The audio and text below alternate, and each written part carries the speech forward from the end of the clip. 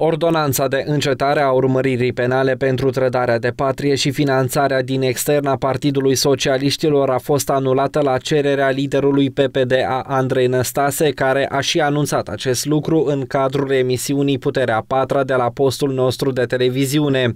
M-am adresat procuraturii cu cerere de anulare a ordonanței. Și vreau să vă anunț pe dumneavoastră astăzi, pe dumneavoastră astăzi în premieră, Dodon știind, dar cu câteva zile în urmă, despre existența unui document la procuratură prin care ordonanța de neîncepere a urmăririi penale în cazul finanțării externe și a trădării de patrie de care vorbeam, acea ordonanță a fost anulată.